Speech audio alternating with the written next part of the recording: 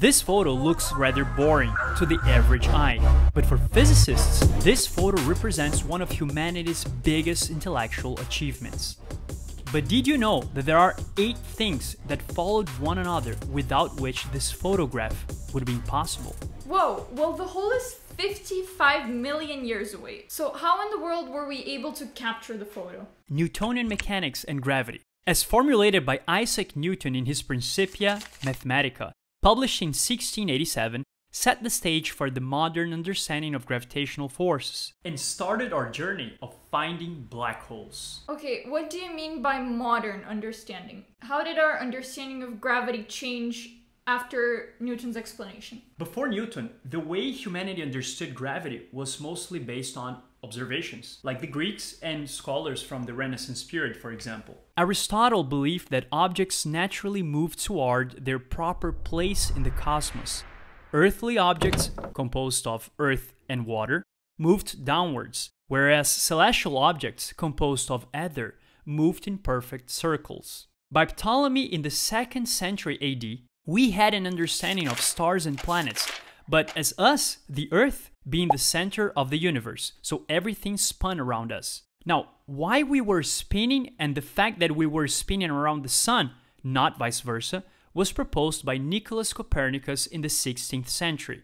In the 17th century, Newton proposed that all objects of the universe attracted each other with a force of gravity that was proportional to their masses and inversely proportional to the square of the distance between their, their centers. It means that the strength of the pull between two objects is determined by two things how heavy the objects are and how far apart they are. The heavier the objects, the stronger the pull. The farther apart they are, the weaker the pull. His discovery mattered a lot because through observation and using Newton's laws, physicists and astronomers could predict the orbits of planets around the sun with much better accuracy. And because of that, these physicists and astronomers trusted that these same laws could be used to study other parts of the universe. Okay, I see what you're saying. Physicists were inspired by Newton's explanation and his success of how objects and planets all move in one single theory. So they started searching for other fundamental laws of nature. And then my question is when did this become relevant to black holes? They had the entire cosmos to explore. So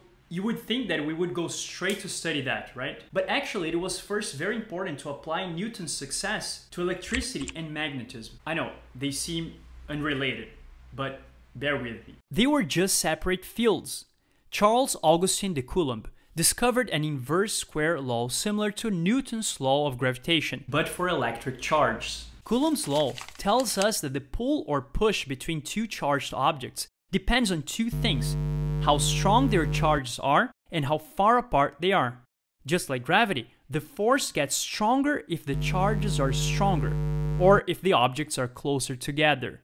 Then, 40 years later, Hans Christian Ørsted demonstrated that electric currents create magnetic fields, which suggested a link between electricity and magnetism, two phenomena that were previously thought to be unrelated. Hence, electromagnetism was fully realized by James Clerk Maxwell in the mid 19th century. Maxwell's equations unified electricity and magnetism into a single theory of electromagnetism, predicting that light itself is an electromagnetic wave. This was like an extension of the idea of a unified force, which was exactly what showed that light, electricity, and magnetism were all part of the same phenomena. And how does that relate to finding black holes? I didn't know electromagnetism was connected to it all. I thought it was just about exploring the cosmos and then we'd come to this conclusion. Maxwell had that direct influence on the guy who first predicted the existence of black holes, even if he didn't do it on purpose. Albert Einstein.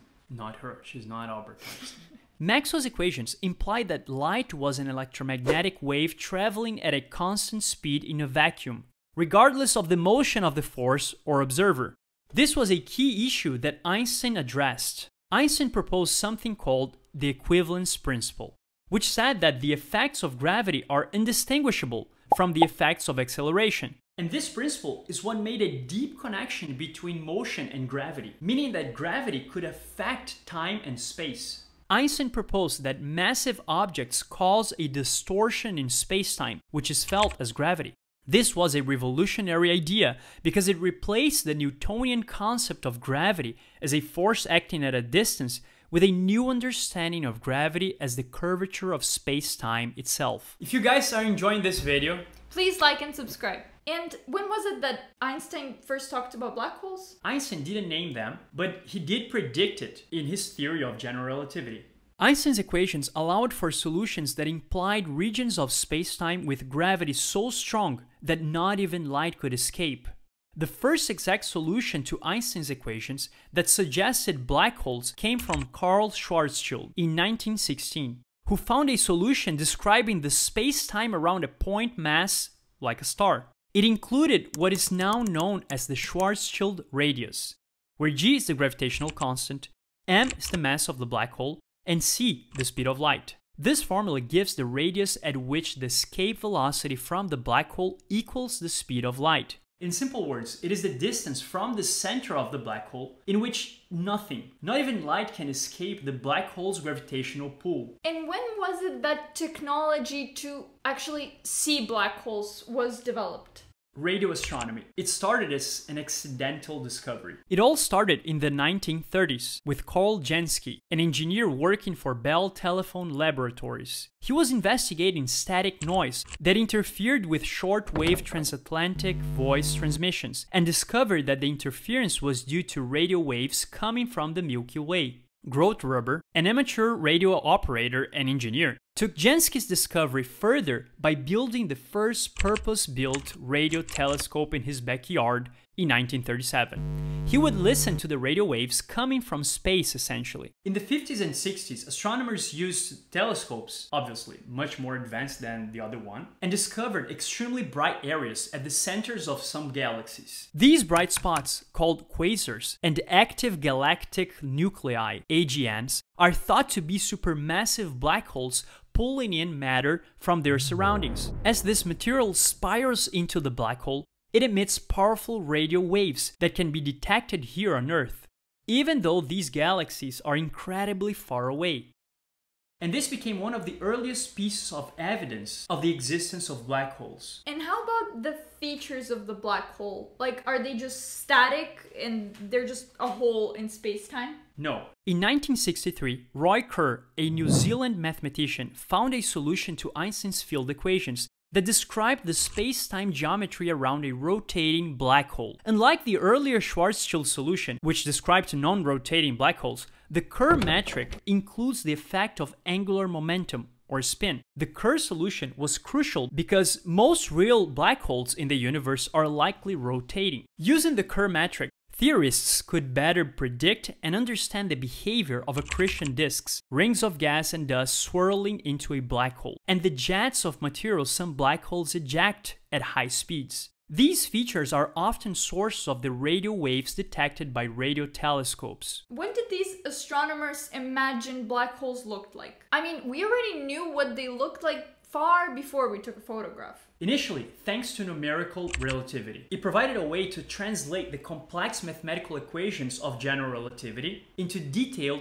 visual simulations that could predict the dynamics of a black hole, especially in extreme conditions that are impossible to replicate here on Earth. Numerical relativity, first developed in the 60s and 70s, allowed physicists to simulate the interactions of black holes with each other and with their surroundings. This includes the merging of black holes the distortion of space-time around them, and the gravitational waves produced by these events. This was all done using computers. One of the most direct contributions of numerical relativity to visualizing black holes was in predicting the appearance of a black hole's event horizon and the shadow it would cast against the surrounding light. These simulations showed a dark central region, the shadow, surrounded by a bright ring of light bent by the black hole's intense gravity. Okay, we're getting much closer to the photograph. So, how was it that they were able to take it? Do you remember the radio technology that I talked about? Well, it became known as Very Long Baseline Interferometry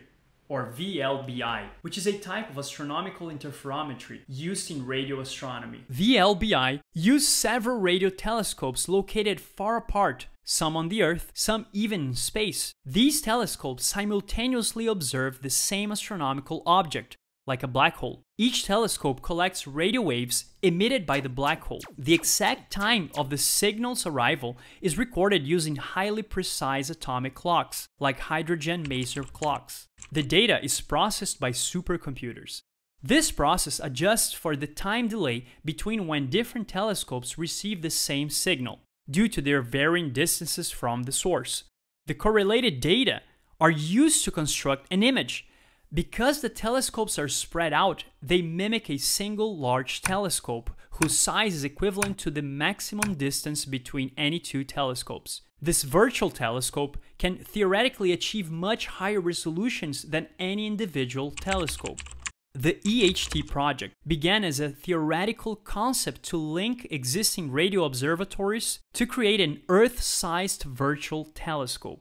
Telescopes from around the world including in locations as diverse as Spain, Hawaii, Chile, and the South Pole, were linked to form the EHT. The EHT initially focused on two supermassive black holes, Sagittarius A in the Milky Way and M87 in the Virgo A galaxy. M87 was ultimately chosen for the first image due to its massive size and the relative stability of its surrounding emission features. In April 2017, all the EHT sites observed M87 at the same time. The telescopes worked together to collect radio waves over several days. Clear weather at all sites was crucial for success. The massive amounts of data were shipped to highly specialized supercomputing centers at the Max Planck Institute for Radio Astronomy in Germany and MIT Haystack Observatory in the US. The data were then synchronized and processed, and they did it through very complex algorithms that could filter out the noise and do other stuff that I will not delve into here. But the entire process and analysis of data took two years. And then finally, in 2019, we got the spectacular photograph of the black hole M87.